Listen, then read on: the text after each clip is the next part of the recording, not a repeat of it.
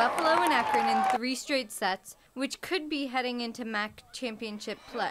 And really, again, I, I don't know if seeding even matters. I mean, I just think it's about playing well. I told our team to try and come out really relaxed tonight because I don't, I don't know that seeding matters. It's going to be who's playing the best next weekend, so come out relaxed and focused.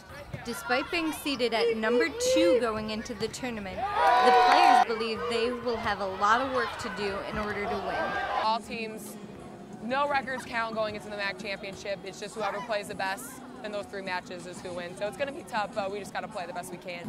The Bobcats have a great history of doing very well in the MAC championship, and the players say they're feeling the pressure to do well this year. We try not to think about it. We just want to go in there and be playing our best volleyball. So we're not going to try and think about it, but it definitely creates a little bit of pressure.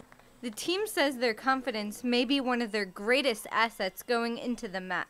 Well, we always try and play with confidence. If we're not, we probably not need to get out of Division One sports. If the team wins the MAC title, they may be looking towards an NCAA run, but the team is keeping focused on the games this weekend. Well, we got to worry about the conference tournament at this point, you know, and then NCAA tournaments are all about the draw. The team says they need to keep focused in order to pull out a few more wins. Sometimes we try too hard, where that's when it all kind of crumbles. So basically, we just got to be relaxed, just have energy, and we're okay. Amanda Walters, Athens Midday.